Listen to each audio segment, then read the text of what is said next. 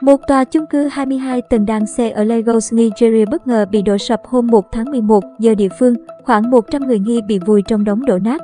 Ít nhất một thi thể và ba người bị thương khác đã được mang ra trong tối 1 tháng 11. Đài CNN cho biết nhân viên cứu hộ đang làm việc hết tốc lực để tìm kiếm những người bị chôn vùi tại hiện trường.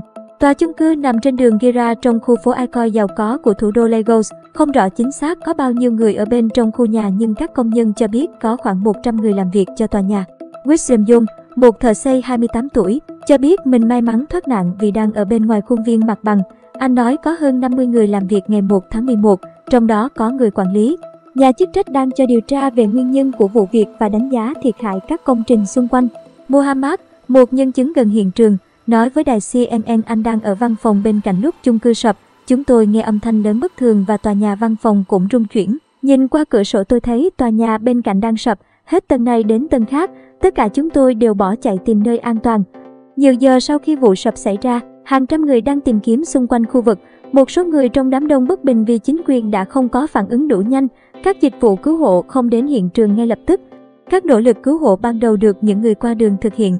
Anh Rashid Olamikin cho biết đã kéo được ba công nhân xây dựng từ đống đổ nát. Anh nói, tôi là người Nigeria, tôi phải giải cứu người dân của mình. Những công nhân được giải cứu đã được đưa đến bệnh viện. Năm 2019, có hai tòa nhà ở Lagos bị sập, trong đó một tòa nhà là trường học, khiến hàng chục người thiệt mạng.